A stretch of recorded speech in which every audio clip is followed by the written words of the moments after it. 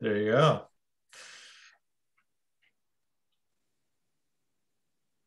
Okay. So I guess I'll start with um it's pretty much just a basic photo gallery of the build. I'll go through a bit of I guess my process in research, I guess, um, for making the paludarium, but it's not very in depth because I didn't really take that many process photos, unfortunately. But I'll, if there's any questions, I can answer them. Thanks. Um, so yeah, I was trying to decide between either doing a paludarium or terrarium for my orchids or the orchids that I wanted. Um, I eventually went towards the paludarium route because I wanted some kind of water feature. And I figured it'd be easier for me in the long run since it, it would have sitting water. I wouldn't have to keep checking on whether or not the misters would have water access or other problems that could arise. So it's all pretty much like a set and forget type of setup. So yeah. I went. Oh, sorry. Go ahead. Go ahead. Okay. Um. So yeah. Um. I started with like looking at Instagram images or like Google images for like inspiration how to, I guess, um, escape the actual paludarium that I wanted to build. Um, so these are just a few examples of what I was looking at. Um, pretty general idea of my direction. I liked it. I liked things that were more, I guess, heavily planted and very green. Um, but I also like the openness that some of them had. Um, maintain the water part and keep it clean. Um, yeah, so I'll get into this that now, I guess. Um, so for the water part, it's I set it up for like an I guess like an organic type of filter. So it, I have a water pump in there, but it's flowing over a bunch of moss, which will um, filter out any large particles in the water that if there's anything in there. So it kind of acts like as um, a secondary or primary type of filter, and it also takes out any excess nutrients from the water. So there's no excess green or like algae blooms in it. I also have aquatic plants in there to help take those nutrients up as well in case the fertilizer from the orchids um, goes into the water. Um, yeah, so then trying to water the orchids. Um, I'm using a felt or like a moisture wicking material, which I have up here on the top uh, right. It's the Terra tape. and you can probably use any other um, fabric. I just used this because it was already at the shop that I was shopping at. But you can essentially have it wrap around pieces of driftwood and it will, um, part of it will sit in the water so it will help um, wick up the water to the orchids that would be okay with sitting in um, fairly moist conditions. Um, and then lighting, I went with the one from Amazon. Um, it's the Chihiros 2, I think. But I chose this one just because it was, um, it's all controlled on my phone and I can set it to have a um, a day, I guess, setting. So it would ramp up, it would dim up to its full power.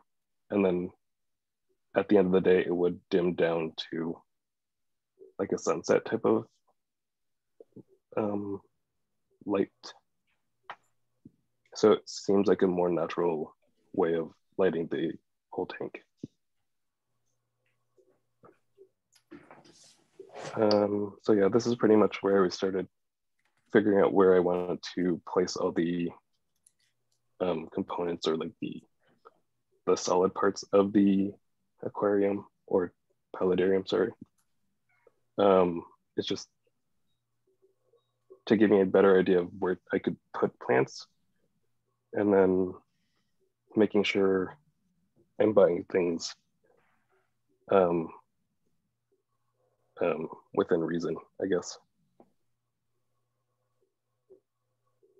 And this is like first couple days of setting it up. Um, I didn't have the orchids in yet. Um, they came in like a day after this, but I wanted to set up everything within this, the like water part before I put in the orchids. So this was a good way to get all set up. Um, and then this is the orchids in. Um, I changed it around a bit from this point just to um, just because I noticed that there was lighting issues or some orchids were getting too much light or some not getting enough. So I played around with those a bit. Um, I also noted noticed that I was having humidity issues and having it being consistent. So I had to make a lid for it. So I went with an acrylic lid. So I made this one. Um, it's slightly smaller at the top, so it doesn't sit flush, which allows for like an air gap to um, have like airflow within the tank.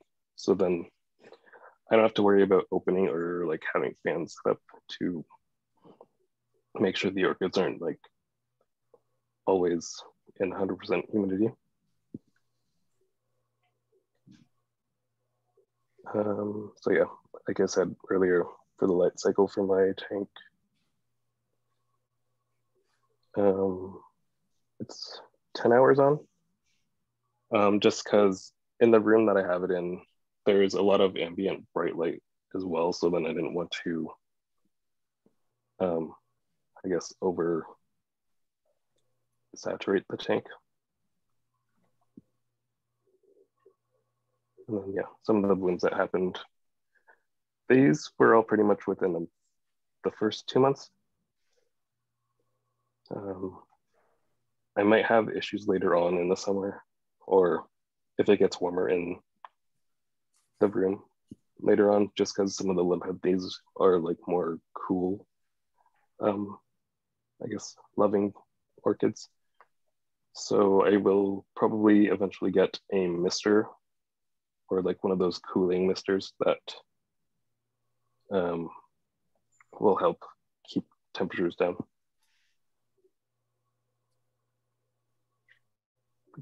And then I have a few other plants as well. I mean, some of them are jewel orchids, which are more terrestrial, but they're good with like the high moisture um, in the certain areas as well as some like Bucephalandra, some Marcgravia, um, and then a couple other um, small ferns. Um, and then yeah, this is in the water. So then I have like little cherry shrimp. They have a really small bio load. So then whatever they're, I guess, eating, which is mostly like fallen leaves from the orchids or anything else, or the, sorry, or from the driftwood, so then they're actually kind of helping with the nitrogen cycle and keeping the tank a little bit more happy. And yeah, um, this was like two weeks ago, I guess. Um, the dendrobium will probably come out in like two, three months when it's out of its wet phase. So then once it starts going to the deciduous part or deciduous, I guess, cycle, I'll take it out and figure out where to put that eventually. You keep a yeah. goldfish in there? no. I was thinking about adding fish, okay. but I wasn't sure. Yeah. Okay. Could have poison dart frogs. Jonathan, over the top. Yeah. Goldfish. Jonathan, do you have a fan or anything to move the air in there? No, I don't. Um, I just have like the opening for the lid, Uh-huh. um, and that seems to be doing enough for airflow. What is your night day temperature differential? Because that's one of the issues people have with terrariums is the temperature doesn't change very much. Yeah, um, it's like a five degree change, which isn't a lot, but it seems to be doing okay for these. Very nice. Very. Any other questions? Jon, thank you for doing this, for preparing it and taking the time. It's really nice to share. No problem. Yeah, I wanted to ask, was I wanted to ask Jonathan, how big, how big is that tank? A 30 gallon? And maybe I missed what you said at the size of the tank. Oh, I forgot to say that. Um, it's a 10 gallon, so it's pretty small. Okay, so where do you keep your plants when they're not in here? You like, sounds like you switch them out and stuff. So where do you grow them when they're not in your tank? In your paludarium? This is, uh, well, I have a rack of um, plants. Well, so it, sorry, I have a rack of plants, but this is the first time I'm experimenting like with a wet cycle for Uh-huh. most of the plants. So I don't know where I'm going to put those. Jonathan, I used to uh, raise uh, dendrobatid frogs, poison dart frogs, for many years in an Yeah. aquarium set up something like this, but it was more primitive and we had a humidifier, a mister. But one of the things that we used were these little computer fans, very small one that's on the back of computers to blow small amounts of air in there. And that kept down the algae and mosses that we didn't want. So that's something if you get into trouble later on with that kind of a problem, the air movement works really well. Right. Yeah. Just to Good to keep know. Thank you. Thanks, Jonathan. Yeah. beautiful. It's I love- impressive and actually good to have a list of the orchids that thrive in this climate. Pleurothallids. Lepanthes are good choices because they seem to do. I knew somebody who was really into them, and that, that's all they grew, and they were growing in a terrarium like situation, and they did really well. Um, so that's something that even if you specialized, um, it's kind of fun to experiment to see what works. But um, Lepanthes, when you find them in the wild, it's often pretty still air. Like they're often in deep in the bushes, and you have to hunt for them, and so you know, like not a lot of air movement is needed, and it seems perfect for these the paludarium. And they seem to be all like when you find them, you find several species growing together, but sometimes not a lot of other stuff. So Interesting. I didn't know that, but yeah, I experimented experimented with this a bit because I didn't know a whole lot about orchids coming to this. This is actually my second terrarium that I have a couple orchids in. Um, but after talking to some people at one of the past orchid shows, they steered me into this direction. So I was like pretty happy with how this is turning out. Um, so I can say that I think with this kind of because I've had marine fish and I know Ernie's had marine and freshwater and and reptiles and amphibians and all these things. Um, I think the bigger the setup you have, the better off you are because the, of less fluctuation in conditions. So you can ever do this on a bigger scale. I'm not saying take over your house, but or your apartment, but yeah, just the bigger things are, the less the fluctuation and the more um, seems to work better that way.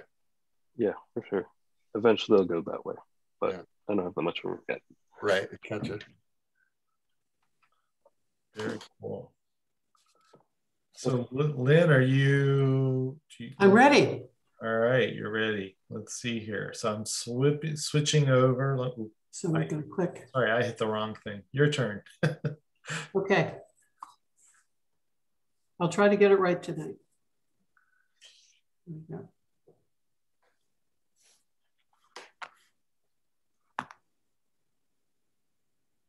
You're a pro at this, Lynne. Don't worry about it.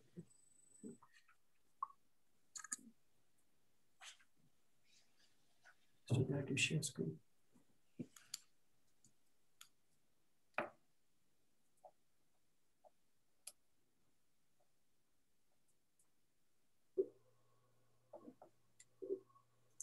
Screen two, I think, yeah. Success. What do you see? A pink Something. That's my Epi. screensaver. Is an epi? Okay, yeah. Okay. yeah. Do you see it now? Yes. Okay, so uh, Ron, we've got what a half an hour till you're on. So we Oh, have another gorgeous, gorgeous show and tell table tonight. We have 60 stunning orchids from 20 contributors, and we'll get started. I the order in which they're shown is the order in which I received them. So Nancy Tristan is the early bird. She shows off, starts us off with a mystery. Uh, the plant tag on this says it's Sarcochilus falcatus, but Nancy said she was informed that the large white flower form of Sarcochilus falcatus was recently described as Sarconiveus, having a less colorful labellum and a much larger flower. J. Fal does not show a Sarconiveus, but um, Kew's International Plant Names Index does show a reference to it with no further description. Ron, does any anybody else know? Um, I, I have to say um, that there's a lot of splitting going on with Australian stuff. So the Australians feel they're all separate. Like Sarcochilus um, ceciliae has a bunch of variants, but they're sometimes elevated. So it just depends on interpretation. I, I don't see this anything but a but a falcatus, and I've seen thousands of them in the wild. So um, So you're happy with falcatus? Yeah. Already. Dale Martin just received on June 7th an award of merit on this. This is Pafilo Nighthawk. Um, he gave it the clonal name of Austin Creek, which is his nursery name. It's a beautiful showing with three beautifully symmetrical forward-facing flowers. It's a cross of Paph Booth by Paph adductum variety and item. And as we can see, it's about 40% Roth, which gives a lot of the coloration and the lovely ribbon-like petals. So congratulations to Dale on this AM. Uh, this is Dale's Dendrobium sanderi. It's a species endemic to the mountains of Luzon Island in the Philippines. The flowers are long-lived, they're crystalline white, and they're large up to about four inches. This is actually an alba form uh, because the typical form, which you see in the bottom right, is marked with plummy purple parallel stripes in the lip, which we don't see in, in Dale's plant. It's a cool grower, needs moderate light levels and a drier rest during the winter. A very rewarding plant for any collection. This is Dale's Laelia tenebrosa, the name meaning dark Laelia, though the taxonomists are currently designating this as Cattleya tenebrosa. This is a large Brazilian species. Its habitat has been probably totally destroyed to the extent that it may be extinct in nature, but fortunately it's found pretty widely in cultivation and many of us grow it in our collections. It needs quite bright light to, to initiate blooms and it grows successfully in intermediate to cool temperatures. This is Dale's Paph lowii, a species native to Borneo and Malaysia, where it appears to be epiphytic and lithophytic and terrestrial, because wherever it grows, its roots are buried in deep moss or leaf litter or humus near water up to about 4,500 feet of elevation. This is an important multifloral Paph because uh, it's used widely in hybridizing for its size, its color, and its floriferousness. Dale offers um, other Paph species and hybrids on his website, Austin Creek Orchids website, if you want to check that out. Lynne, can I say something? Of course. Yeah, so I, I di- didn't know it was from Malaysia, but I have heard that it's been found on Palawan, the connecting island off of the uh, southeast of the Phil- part of the Philippines, but what leads Philippines to Borneo. So I, I believe Jim, my friend Jim Cootes will be on from Australia. Pretty sure that and he's been doing a lot of Palawan exploring, finding all kinds of new species. I think I don't know about the Malaysia part, but I know that I'm pretty sure it's from Palawan. also. Okay. Thank you.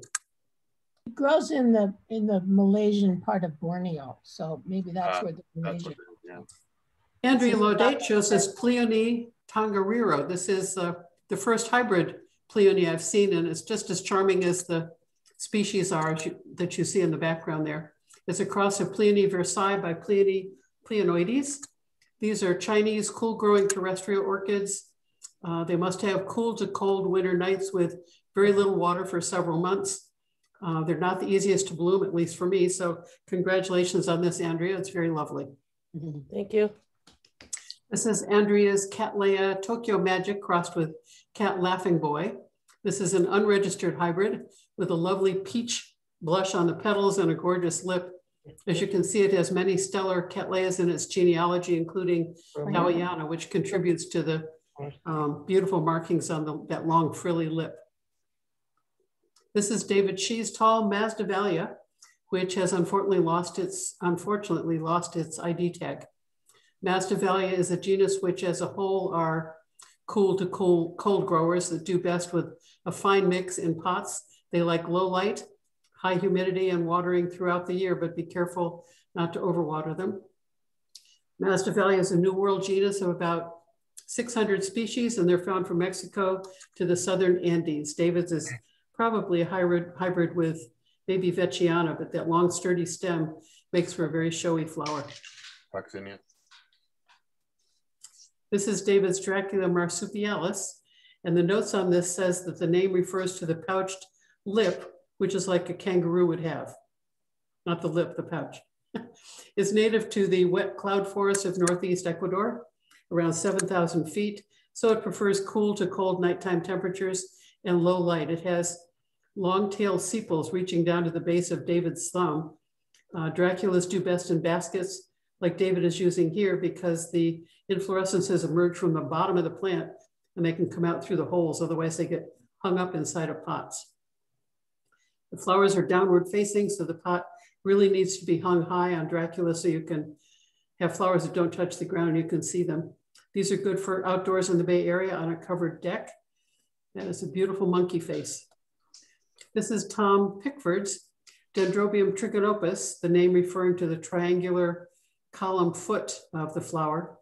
It's a species native to Southeast Asia, including the mountains of northern Thailand, where it's found at about 5,000 feet of elevation. The flowers are long lasting, about two to three months. They're waxy, they're fragrant, they're about two inches, and they arise from the nodes of both leafless and leafy canes. This plant needs to dry completely between waterings in late winter until new growths arise in the spring. It's a great photo, Tom. This is Tom's Cattleya, formerly Laelia sincorana, growing on a tree fern mast. Uh, this is a Brazilian dryland species which does best mounted so it can dry quickly between watering. It likes very bright light, good air movement. The plant's only three or four inches and the flowers are typically three to four inches, but Tom has a particularly large bloom on this plant, closer to five inches. You can see he had just watered it before taking the photo. The lip has five keels or ridges down the center to direct the pollinator to the prize within. This is Tom's Cattleya or Laelia rubin. This is a primary hybrid of Laelia sincorana, which we just saw, and Laelia purpurata. Uh, Cattleya rubin comes in a wide range of colors depending on the color of the purpurata that's used in the cross. Here, Tom says the purpurata used was the sanguinea form, which is a very dark magenta to purple form of purpurata. We can see that the small size of the sincorana plant has reduced the size of the stately large purpurata to a more manageable size. This gorgeous color.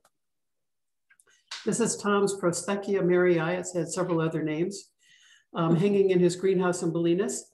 When Tom emailed these photos to me, spell check changed the subject line on this one to prosthesis maryi. Ooh, it was good for my daily chuckle.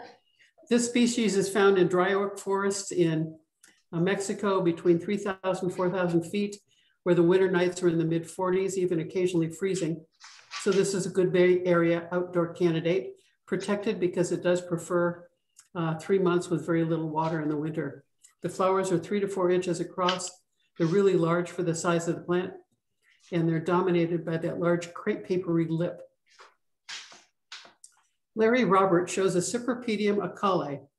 Larry recently returned from visiting his parents in Minnesota, where they have a cabin with a lake and some bog a bit south of Duluth. He timed his trip for when the wild lady slipper orchids were going to be blooming there. And despite a heat wave, quite a few were still in bloom. And he's sharing his photos with us here. So these are not ones that he grew.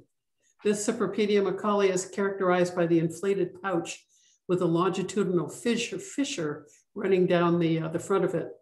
I clicked on the link that Larry sent me along with the photos and it read, read with interest that, quote, some have called this lady slipper the scrotum flower. Mm-hmm. And before anyone is too alarmed, just ask any man who has had an orchidectomy. Close quotes. Another of Larry's photos, the Cypripedium acaule. Um, Cypripediums are almost impossible to establish in cultivation, and this one is not available at all commercially.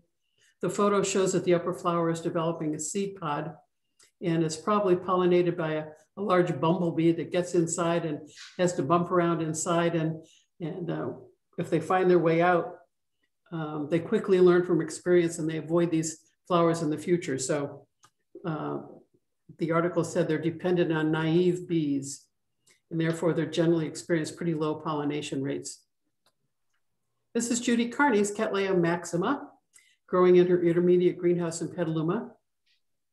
It's a species from Peru, Ecuador, Colombia, and there are two distinct populations of maxima. Uh, it was originally discovered in the hot, humid lowlands around Guayaquil, Ecuador. Later, it was found at high elevations on the western slopes of the Andes up to about 7,000 feet. The lowland plants are among the largest of the unifoliate cats, and they can have 12 or more flowers, whereas the upland maxima plants are smaller, harsher conditions, so smaller, uh, more rugged plants. And they usually have just three to five flowers. Of course, the maximas we see in our collections are hybridized for size, vigor, floriferousness. What they all have in common is that characteristic yellow um, stripe radi radiating out from the throat. These are gorgeous. This is Judy's Dendrobium bensonii.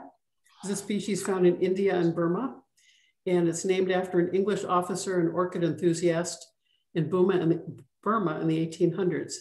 It's medium-sized, warm to cool growing, um, epiphytic. It's deciduous and it blooms on leafless canes, as you can see in, in Judy's photo. The, the flowers are about two and a half inches and they're characterized by those two magenta spots at the back of the lip. Uh, they are fragrant. It grows well uh, down into the low 40s at night and it wants much less winter water in the winter.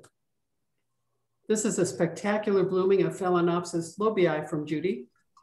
Uh, it's a great candidate for a cultural award with this many flowers, beautifully arrayed around this nearly leafless uh, Phalaenopsis.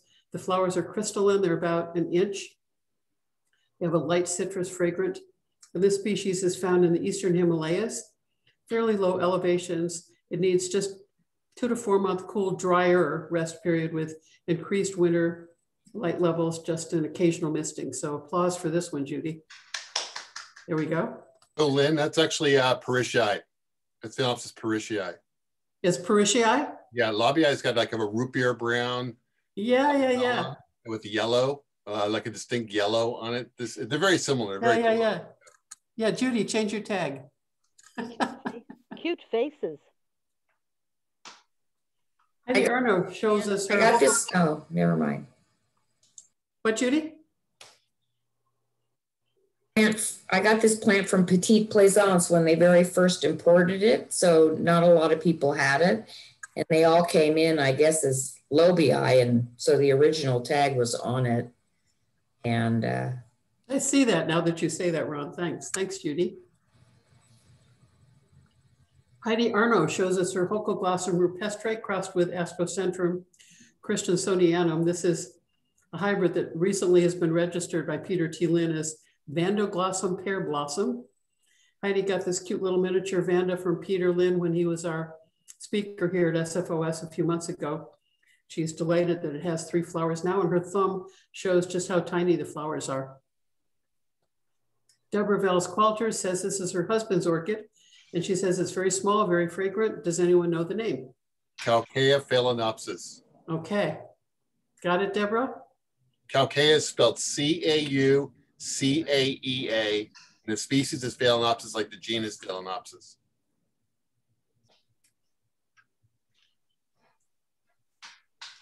I wrote it down, Deborah. So if, if you have any questions, you can ask me. Thank you, Ron. Deborah also shows us her late blooming Cymbidium hybrid, looking gorgeous in the garden, surrounded by ferns and aeonium. It's a pretty presentation. Stuart Menaker shows us this complex Cattleya hybrid, Sacramento Ruby Red Knight. This is a little mini cat made by Alan Koch in 2002. We can see there's some, if you look at the uh, genealogy, you can see there's some uh, big tenebrosa in the background, but Alan has used small cattleyas like Coccinea, Bradii, and Milleri to bring down the size. And of course, the vibrant color comes from the Sophronitis uh, coccinea. It's a great windowsill candidate for those of you that are looking for small plants. It just needs medium to bright light, likes a wide range of temperatures, and it's just plain adorable. Stuart bought this from Gold Country Orchids last year at POE. This is its first bloom. Roberta Fox has some unusual plants to show us tonight. This is Loefgrenianthus Blanche Amesii. This is a rare monotypic genus from Brazil. It's a twig epiphyte with a name bigger than the flower, which is about three quarters of an inch. The flowers are pendant, as you can see, so you need to turn the plant over to see the, the detail of the beautiful little flowers. Roberta says she grows it outside on her Costa Mesa uh, coastal Orange County patio, shady and damp. Roberta specializes unusual species, and here's another one, Polycycnis annectens. This is a species from Ecuador at elevations of five to 6,000 feet, found in dense wet forests on the eastern slopes of the Andes. The elevation data indicates that it should be able to grow on the cool side, but Roberta says it does much better in the greenhouse with intermediate conditions. Jay Pfahl's notes indicate that Polycycnis differs from Cycnoches in the flowers being hermaphroditic, meaning both the male and the female parts are carried on the, the flower in Polycycnis, whereas so, Cycnoches have separate male and female. Lynn? Yeah. So that's so polycycnis is interesting means many swans because of the curved columns on it. Oh yeah. And then it's actually a, a close relative of Gongora that's in the Stanhopeinae. Yeah, yeah. Stanhopeinae. Cool, thank you. Roberta shows us Microcoelia stolzii. As you can see, this is a leafless angraecoid orchid from uh, much of Central and Eastern Africa, elevations from 2,700 up to 11,000 feet. So it's quite cold tolerant. It's best mounted or hanging out of a basket as Roberta shows it here, because the roots, because it is leafless, the roots do all of the photosynthesis and they need to be exposed to the light or the plant will starve to death. Roberta grows it on her patio, shady, damp. The flowers are about a quarter of an inch, and she says they're heather scented. That's a beautiful job, beautiful. This is Roberta's Alamania punicea. This is another monotypic genus, meaning that this is the one and only species in the genus.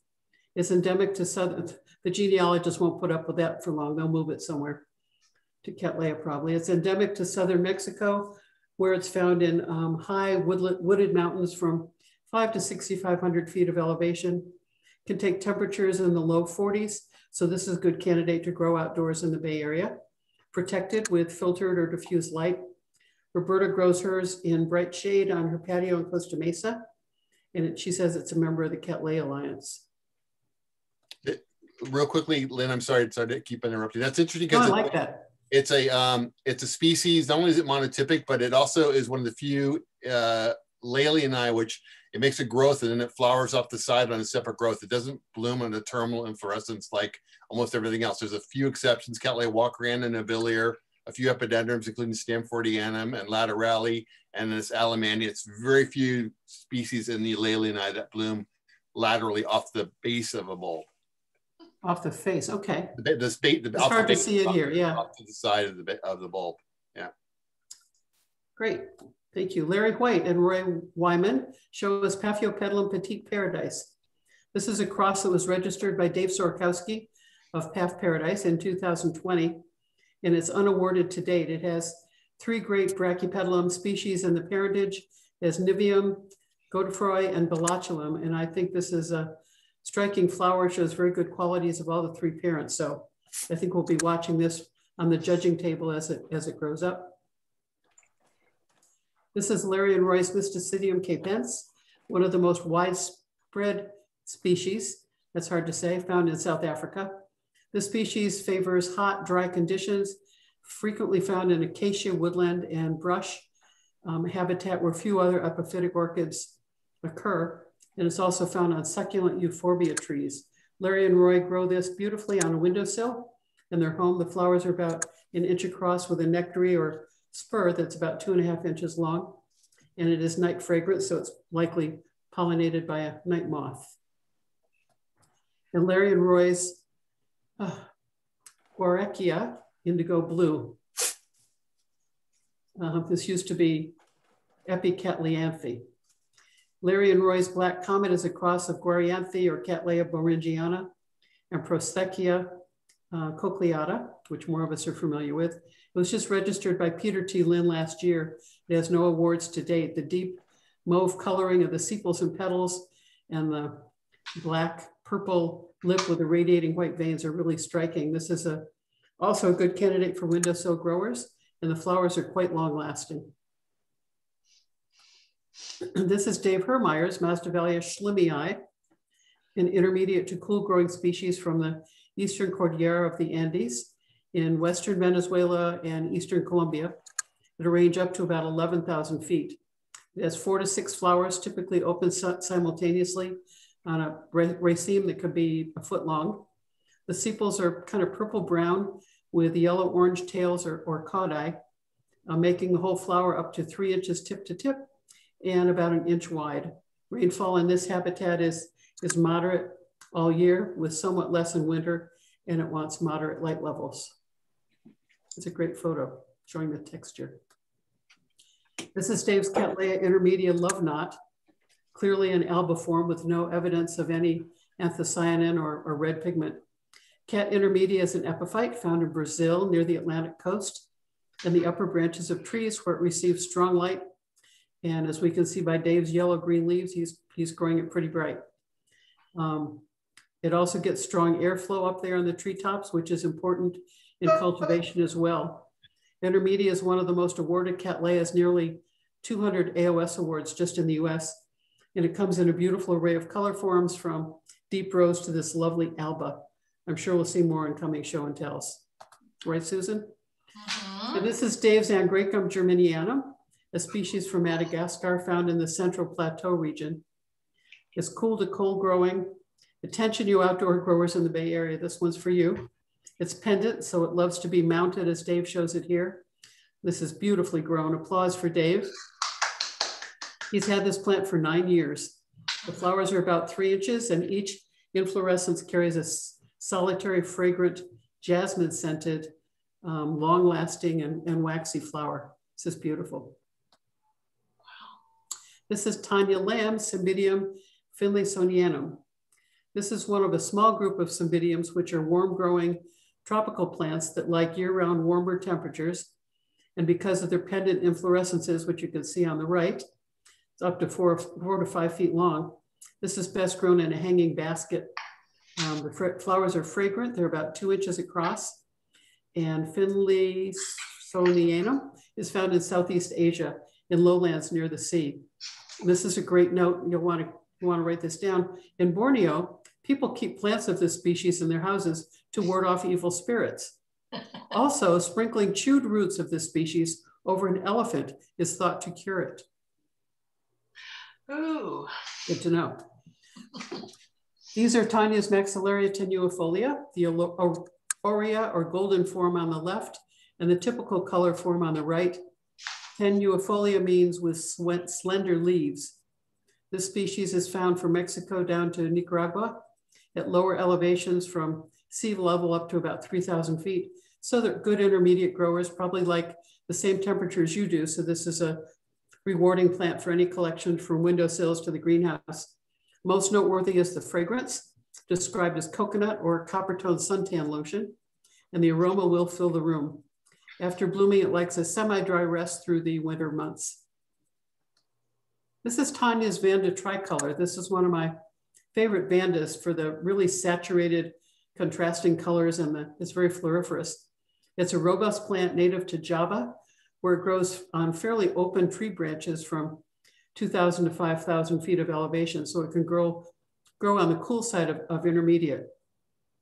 Unfortunately, a lot of these plants have come from Thailand carrying Cymbidium ring spot virus, CYMV, with absolutely no color break in the flowers, no indication on the leaves. But we heard about this a couple of years ago. And um, unfortunately, all of the Vanda tricolor plants that Tom Pickford, Susan Anderson, and I had in the greenhouse, we had five or six plants from various vendors and sources.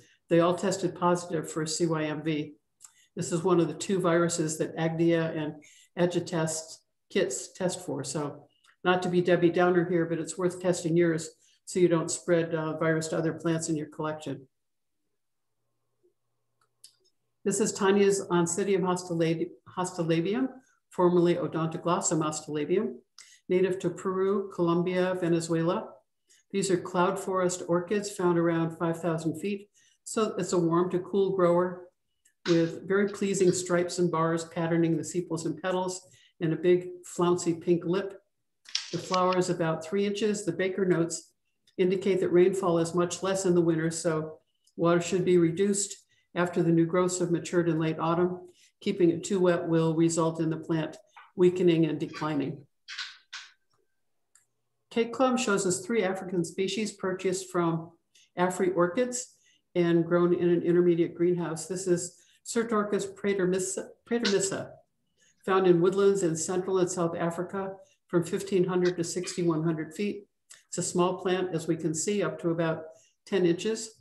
Lovely arching inflorescences, each with five or six flowers that are about an inch and a quarter, and long transparent looking spurs or nectaries. The fragrance is said to be like that of lily of the valley. This is Kay's Rhipidoglossum pulchellum.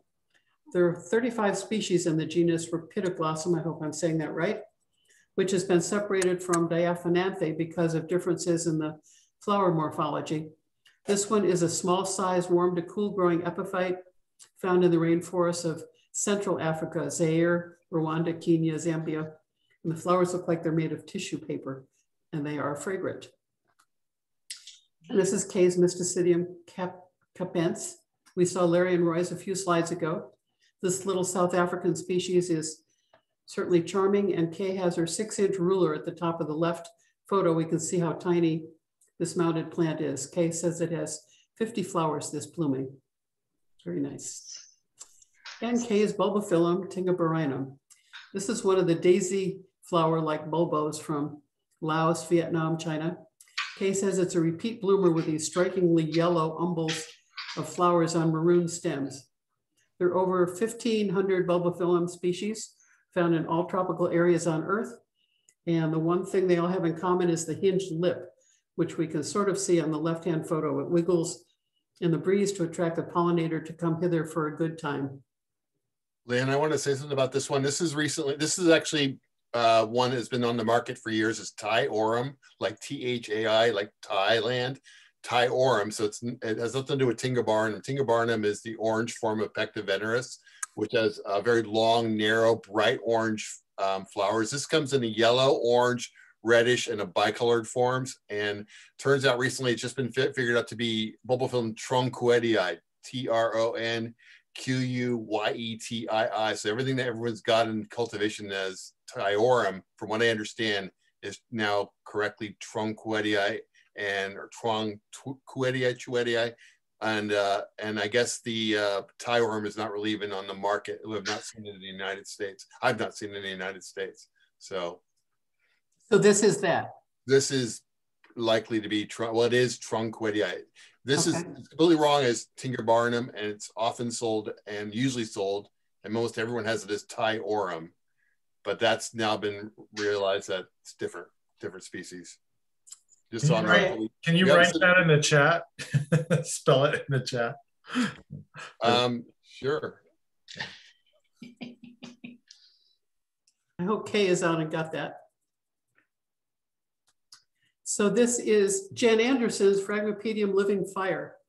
This is a hybrid registered by Orchid Zone in 1995. It's a cross of Sorcerer's Apprentice by besseae. Phrags like medium light, lots of humidity, so a tray of pebbles filled with water under the pot will do nicely.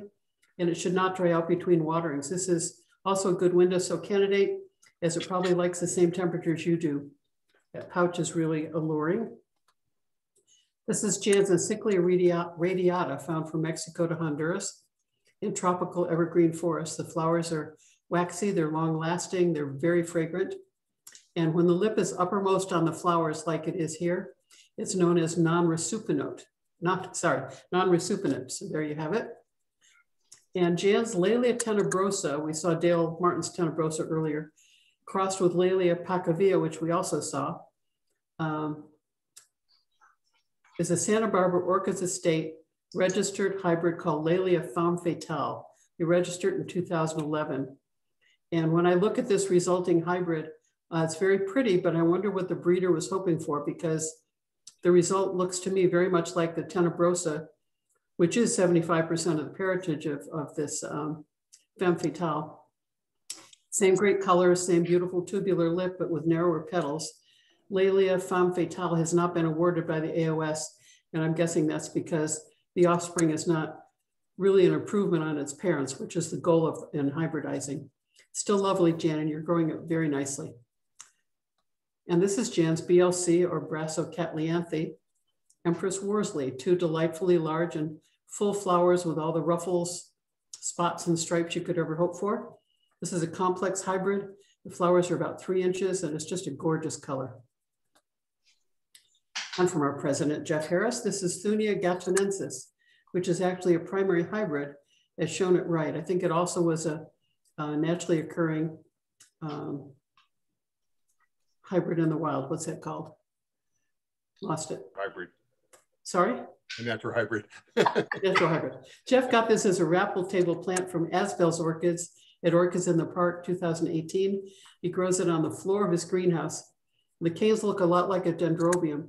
This goes dormant or it deciduates uh, for a lot of the year, but in late spring it puts out leaves and it has one to five flowers, flower buds per cane. The flowers are about three inches. They only last a few days, but the fringed yellow throat with red and fuchsia stripes and that long yolky yellow bristles, they're very eye-catching. Probably also good pollinator catchers. Lynn, interesting thing about the propagation is you can take the bare canes, lay them horizontally on a bed of moss, and each node will sprout a baby, should sprout a baby plant. Huh, and then what do you do? Bare canes off, you just lay them horizontally on a bed of moss, and they'll sprout at most nodes Oh. and root. And then do you take them off? Yeah, and then you, you take, just plant the whole thing? you just well, you lay the cane down, and you separate the babies That's very cool. Thank you. because you can see they don't get many bulbs at a time. Yeah, yeah. Girls, wake up. I'm sorry. This is Jeff's dendrobium or Dockrillia wassellii. This is an interesting epiphytic species from northeastern Australia. It has almost terete pencil-like leaves with, there's a deep furrow down the center. It's almost like a succulent. This is best grown mounted as Jeff shows us here. Uh, he has it mounted on cork because the rhizomes creep around the mount from every direction. Uh, it won't stay in a pot. He got this plant from Brookside at POE in 2018. It blooms June or July every year with a spiral of dozens of white, intricate, unusually shaped one inch flowers per inflorescence. inflorescence. And this, this is a good photo to capture them. And Jeff's Rodrumnia Harvest Moon. Rodrumnia is a hybrid genus of Tolumnia. Jeff says this is a recent acquisition from Dave Hermeyer, and he loves the canary red flowers with the blood red spotting on them. And they, it, they are emerging from a mounted clump of reddish brown leaves. These uh, little Tolumnia um, miniatures are delight in any, any collection. You have, you have room for them. This is Susan Anderson's Eria Hyacinthoides. There are 370 species in this very genus of seldom cultivated orchids. And this one is from Borneo and the Malaysian Peninsula. And oides means it is hyacinth-like. Susan's is a huge plant. It's in, I, I think, about an eight inch pot. And there are inflorescences all the way around 360 degrees. It's really a spectacular showing, disturbing the applause meter tonight. Susan grows this in her intermediate greenhouse with filtered bright light. The flowers are very fragrant. And hopefully this plant is going to Lincoln for judging this coming Sunday. Mm. So Lynn, I have to say something real quickly. Everyone's, uh, so Eria is um, actually a much reduced genus now. There's Is it Bryobium? Eria is a very small, it's much smaller genus now. There's many genera segregated. I believe this is a uh, Bryobium? Bryobium, yes. Yeah. So the Bryobium, Pinalia, um, there's a lot of new genera and it's actually sticking. It seems like everyone in in the old world, basically Aus- Australia and such, they're all firmly believe that these genera are separate, unlike a lot of things we see over here where they put them all together. This has actually been accepted. So So this should be Bryobium, Bry- Yeah. Bryobium Bryobium, hyacinthoides? yeah, yeah. Got it. Thank you. And this is Susan's Epidendrum parkinsonianum. This is an epiphyte from southern Mexico through Central America, Panama. It's obviously a large pendant plant with flowers that are about six inches wide and about six inches high. The flowers are showy, they're waxy, they're fragrant, and they're long lasting. So this is a great plant. Susan grows it in the intermediate greenhouse with temperatures down to 58 degrees, but Tom Pickford also grows it in his cool greenhouse down to 42 degrees. So it's obviously adaptable. It likes bright light. I believe Susan bought this plant from Jim Rose of Cal Orchid in Santa Barbara. And Susan's Dendrobium devonianum. This is a species from the Himalayan region with long pendant canes and inflorescences yeah. that hmm. arise from the inflorescences arise from nearly every node of year-old canes, but each node blooms only once. The leaves are deciduous, dropping off before blooming. The flowers last about two weeks and they're about two and a half to three inches. They have a row of hairs along the margins. Ron, we know you like fringe. This one's for you. Yep. Serious fringy lip. I think those yellow orange blotches in the lip, they look like huge dimples to me. This flower always makes me smile. It can take temperatures into the mid 30s and bright indirect light. And Susan's Dendrobium cuthbertsonii gold country. This is a cool to cold growing miniature from New Guinea, where plants grow at high elevations on moss covered trees, mossy rocks near streams. This, one, this plant came from Alan Koch of Gold Country Orchids, but as Jeff mentioned earlier, Tom Perlite of Golden Gate Orchids, he has, he has more awards on Cuthbertsonii than anyone. And the June issue of Orchids magazine has that excellent article by Tom Perlite uh, with all you ever need to know about how to blow, how to grow this little beauty successfully. The bottom line, pure water. It's a really rewarding little plant that grows well potted or mounted, and the flowers can last for six months or more. This is my Dichaea glauca, glauca meaning gray-green, which refers to the leaves, not the flowers. This is an easy to grow epiphytic species found from Mexico to Panama. The plant's about two feet tall, so it's not necessarily a windowsill plant. The many flowers are about a half an inch with uh, one inflorescence arriving, arising from each leaf axil on the upper leaves of, of each cane. I grow this in an intermediate greenhouse with night temperatures down to about 58. It gets moderately bright light, not direct light. Good air oh, movement from the fans 24 7. Message. Hmm. And I purchased this from California Orchids about three years ago. Stereochilus is a small genus of seven species found in India, Southeast Asia. And hirtus is the, the hairy Stereochilus, referring to the fuzzy little bud you see between the two open flowers and the fuzzy lip margin. Um, it's from the Himalayas, found at elevations up to about 2,500 feet. So I've, I've, been growing it in the cool greenhouse, but I think I probably need to uh, move it to the warmer greenhouse for the winter for a little dry rest. I purchased this bare root from Wenqing Perner, who was our speaker earlier this year, and I have it mounted on a small cork slab. Nice. And my bulbophyllum grandiflorum um, I'd like to start doing bulbophyllums. This is this flower is about two inches wide, four inches long. It lasts about three weeks in the greenhouse. This is a species from Papua New Guinea and the Solomon Islands, where it's found at low elevations in coastal forests, river valleys. So it likes good humidity, intermediate light, year-round water. Bulbos are great windowsill plants, and Andrew, you should try them.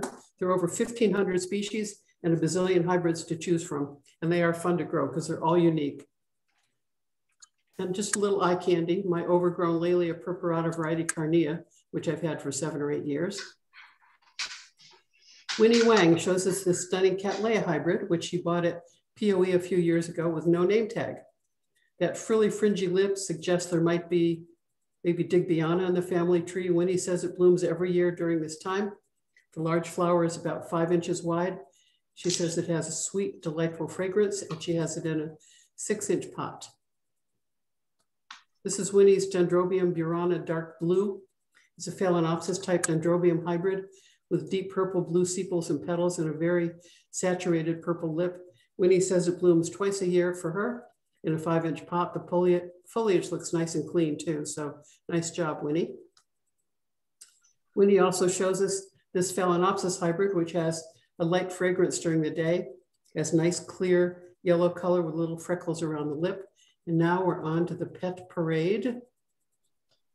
This is Kay's Peaches, approaching full Halloween cat mode in case this oncidium decides to attack. And the last photo of the evening, we see big progress on Jan Anderson's new greenhouse. Over in the bottom right was when we saw it last month. And next it gets water and electricity, then benches. Bailey is uh, Jan's three and a half year old golden doodle. And you can see he's wondering, how did you get me in here? Why am I in here anyway? He's very cute. Very cute. So thank you all for the photos. And you can see I use some of the Ron and Mary orchid information. Thank you. Great job, Lynn. Ron, thank you for your help. You're Welcome. Thank you, Lynn. Thank you. Um, all right. Well, we're right on time. Doing great. And Ron, I think uh, I see a lot of your, your guests in the in the room. So are you ready to take over sharing? Sure, no problem. Okay. Um, oh, I guess I should introduce you actually. Can I introduce you first? Hold on one second. Let me do this real quick. So for those that don't know Ron, the two or three of you in the room maybe. So Ron is a longtime SFS um, member and very uh, active in the society. He often uh, ran the show and tell uh, table when we were meeting in person before Lynn took this on for us uh, last year. Um, he is a well-known uh, wildlife uh, flower photographer and, and author of several books. His talk tonight is Rarities and Oddities of the Orchid World.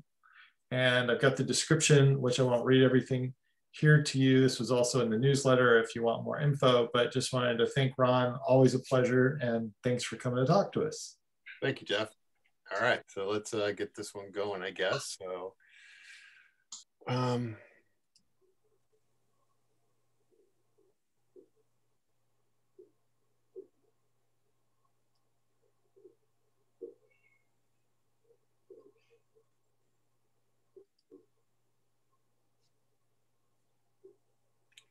So I had this talk on a slide when I would do it when I was doing slides. I had this it was my favorite and most called for talk, but this is a completely different talk. They're all um, new slides, new species for the most part. So um, I'm waiting for my little spinning rainbow here to stop spinning so we can enlarge the, the frame here.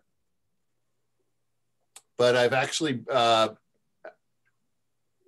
my favorite way of seeing orchids is actually to see them in the wild. So that's everyone knows I love to take photos. Um, I love seeing things in the wild, but when I don't, I love visiting collections with species. I pretty much just am into species. Um, I've been growing orchids for 40, going on 47 years now, and I've liked species for them for almost all of that time. So um, this talk was put together for that love of it, and you'll you'll you'll see something interesting. Actually, I noted it uh, after a couple times of watching it that I have this affinity for uh, frilly, fringy, hairy orchids because of uh, I, am just kind of jealous of them because of my lack of hair on my head. So um, you'll notice you'll note that when you're looking at these. I've grouped these in related uh, sections. Um, the terrestrials not so much; they just all happen to be terrestrials. But uh, with this, I'm going to start with this Habenaria medusa. And interestingly, for a terrestrial orchid, this species is quite um, easy to grow evidently. I have not grown it, but I know people have not only grown it, but their plants have enlarged and, and increased in size with more additional bulbs. And I've seen some really spectacular ones in cultivation now. The flowers are about two and a half inches across, almost, almost three inches across. And as you can see, they're very spectacular. The genus itself is widespread across the world in most continents. Even there's in Australia and such. We have them in the southeast part of the United States um, all throughout Mexico and South America, Africa, everywhere actually. So it's an amazing genus. And this is just a single spike of it, but you can see how spectacular they really are. Uh, closely related genus and one that used to be considered part of the Habenaria genus is Platanthera. And this is a, um, as far as I know, it's a, a Northern Hemisphere genus, but there are a lot of species and for whatever reason, we have some in California and they're like, oh, those are nice. But you go to the east, eastern part of the United States has the most spectacular ones, what are called the fringe orchids. There's three of this orange, there's three species that you would call orange fringe orchids. And this is the rarest of the three. They, um, this one occurs from the a little bit of the panhandle of Florida and very few areas all the way over to the very southeastern part of Texas. And it is rare no matter where it is from. I've seen it many times in the Apalachicola National Forest in, in the panhandle Florida, and I would see a couple hundred at a time. And they bloom in like the hottest part of the year, it seems mid August or August 10th or so. And uh, Mary and I went there in August of 2019. And for whatever reason, there was about 2,000 of them, literally. They were just all lining these roads. So it was pretty spectacular. This one is Platanthera chapmanii. Not a very common orchid. That's actually used to be common in cultivation. It's just actually kind of maybe difficult to keep alive. It's a cold, hardy species of Pecteilis, another Habenaria segregate. It's called the egret orchid for obvious reasons. A species from um, um, I believe China and Japan, I think also Korea, and it needs a very cold dormancy. So keep that in mind if you try to get this. They used to be quite common, but you don't see them very much anymore. This is something that uh, Mary and I got to see when we went to China with Wen Qing in Sichuan province, Sichuan province being the uh, province to the east of Tibet. And uh, we were up pretty high. We were looking for rare cypripediums, which you'll see um, a couple later. And this is a species, actually, it's now considered a Hemipilia. Um, but at the time, Holger, Holger Perner did not know what it was when he showed this to us. To him, it was a new species. It turned out it had been named quite a long time ago. But what a really delicate little beautiful thing. We were everyone was taken with it. And there's a number of them, which was was fun. There's darker ones and lighter ones. So um, interesting. This genus is uh, it's actually got about 37 species. It's from tropical Africa. This one, at least, is from tropical Africa across the west to the east. Um, this is Marnie Turkel's plant of it, and uh, flowers are about probably going not two inches, maybe an inch and a half, but it this wonderful, interestingly uh, grape grape soda smell to very perfumy flowers. And Marnie's done very well with it. It's increased in size over the years. I think she lost the main plant, but has, has since uh, she she um, pollinated has now seedlings and or other plants of it now. So this is Brachycorythis kalbreyeri. I love the little jewel orchids because of the beautiful foliage. I think everyone does. Um, some can be kind of difficult to keep alive, but Anoectochilus to me is the favorite of them all. It has the beautiful foliage that's veined red or golden on generally a dark green, nearly blackish leaf um, little rosette of leaves. They grow on the forest floors of Asia. Interestingly, one of the three actual native orchids of Hawaii is Anoectochilus. This one is from Taiwan, Anoectochilus formosanus. It's I won't say it's readily available. It was for a period of time, but I think it's still around, but I don't. It's not as common as it once was. Nothing beautiful about this, but the interesting thing about the name is this is this the botanist who named this genus uh, called it Aa. So it would be the first plant genus of the entire plant kingdom. So Aa is the very first genus that will come up in a listing of genera. So this is a species from high elevation. I don't know which one it is. The, the genus is high elevation in the Andes. This one was in uh, about 10,000 plus feet in Ecuador, maybe actually might have been like 13,000 feet. And what you see in the center, the little orchids with the holes in the center, those are the open flowers. So below that, they're starting to form seed pods, and above it, they're still buds. So it's what we call a sequential flowering inflorescence. Um, I love uh, the little bee orchids in in um, in Europe. I went specifically in Europe in 2008 to see the to see as many terrestrial orchids as I could, and this includes the bee orchids. Interestingly, on the very first trip was to Crete, the largest Greek island, and we saw probably 15 or so species of ophrys. Ophrys being the famous bee orchids, and for whatever reason, this one is called the mirror orchid. It's not, it's a bee orchid, but they call it the mirror orchid. Obviously, speculum means mirror. It has this really rich blue labellum, and it's fringed in a little fur coat. It's really cute. I photographed this one on the island of Mallorca. It belongs part of the Balearic Islands of Spain. One of my favorites though is this one we saw in Crete. This is an endemic to Crete, obviously Ophrys cretica. Um, the flowers in this were probably about an inch and a half, so they're quite small, but uh, incredibly beautiful. I just, I'm really taken with them.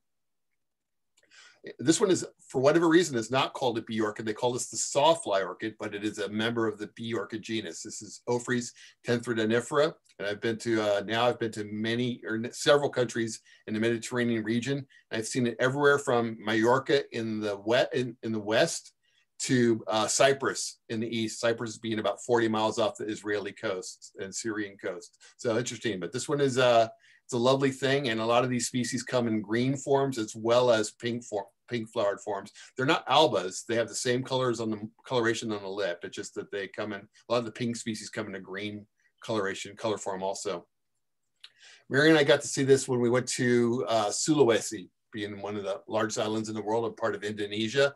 And Corybas, there's a number of them in Australia and New Zealand. I always wanted to see them when I went to Australia.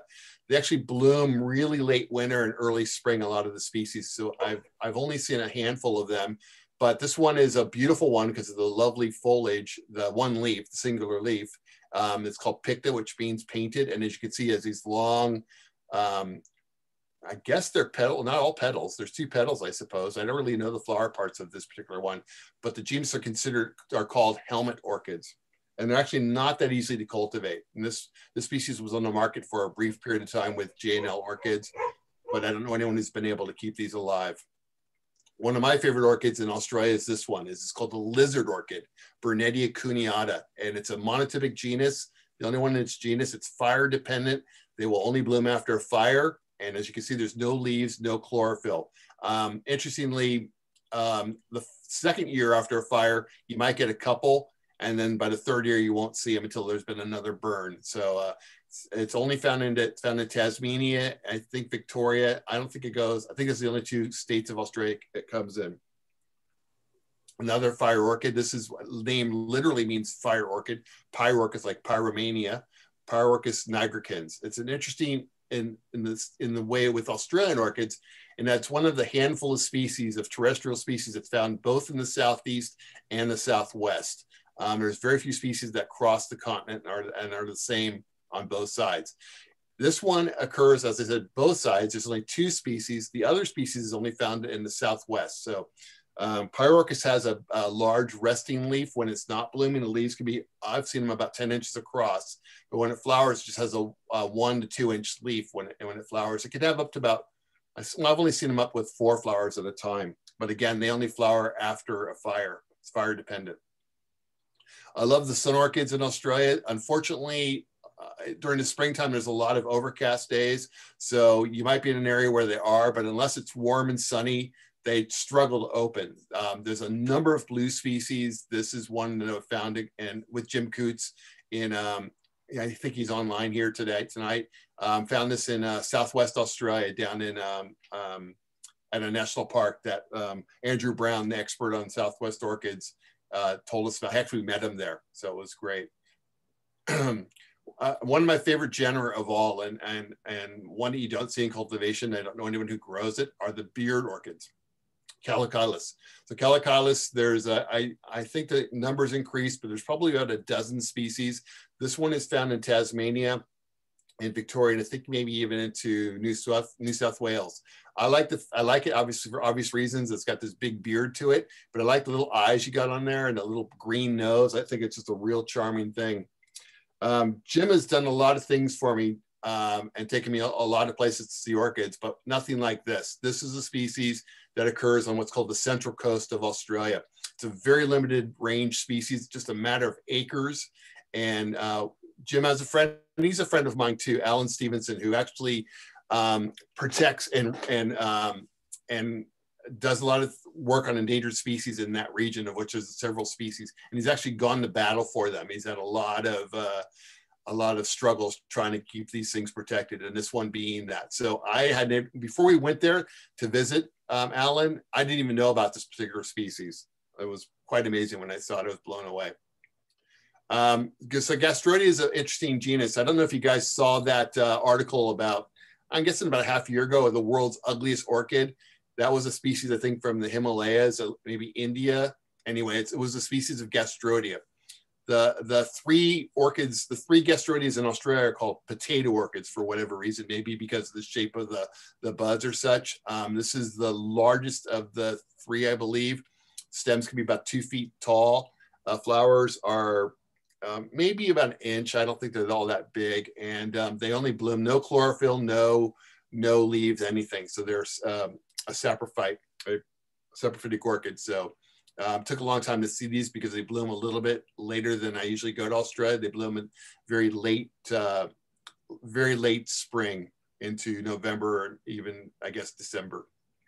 One of the two species of enamel orchids, this is a species from the southwest part of the genus is uh, endemic to the southwest part of Australia. And they're called enamel orchids because they're so shiny. No matter how you photograph them, you get this reflection, this sheen to the flowers. This one is emarginata. The other species has deep purple flowers, Brunonis. I like this species very much. This is a the flying duck orchid for obvious reasons. It's a, uh, it, it looks like a duck in flight. Interesting orchid um, uh, anatomy thing here. So the lowest segment you see is the dorsal sepal. The two little thread-like things, those are the um, petals. The wings are the lateral sepals and the head is the lip. And then the what looks to be the duck's breast, those are actually wings off of the column.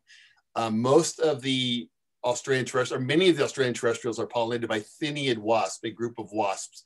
The males tend to um, find these orchids overwhelmingly attractive. They try to they try to pick up the they think they're picking up a female wasp to mate with it, and instead they actually are lured to the flowers.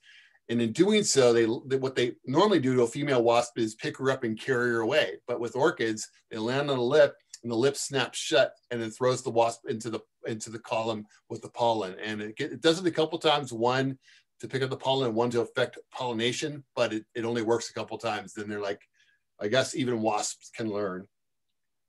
One of the beautiful donkey orchids, a very complex structure. I'm actually I still am confused as to what is what on there. I believe the two ears on this donkey orchid is are the uh, are the petals. I I actually I have to study this a little bit better because I've seen lots of diuris, but I can't keep it straight.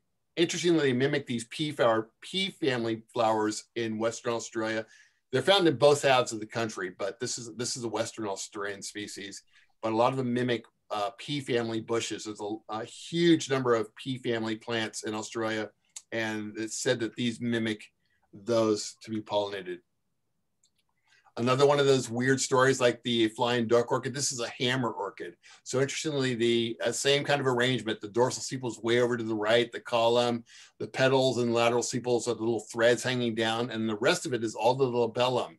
And you can see the lip is hinged right in the middle. And that same thing, the wasp tries to carry away the female wasp and it throws it, it just is on a pivot and it throws them right up to get right against the column picking up the pollen and again, one more time to affect pollination with another flower. Beautiful spider caladenias. The genus Caladenia was split up for a while, then they all went back to Caladenia.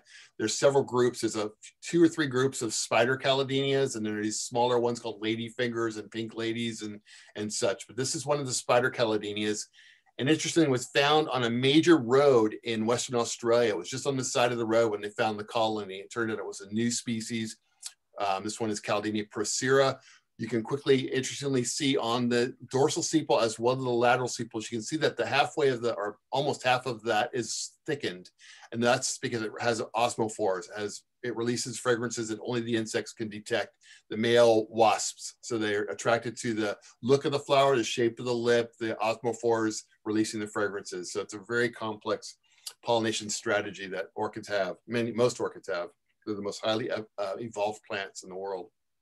Another beautiful spider caladenia. This is the, on the um, west coast. It's a stone's throw from the ocean. As a matter of fact, I was photographing these and I stood up and there was a whole, I know what you call a, a bunch of kangaroos, but they were giant kangaroos. They're actually kind of scary looking when they stand up and looking looking like they they want to kick your butt. So anyway, you can see the uh, osmophores on these also you can see that the, they're thickened and they're darker than the rest of the flower.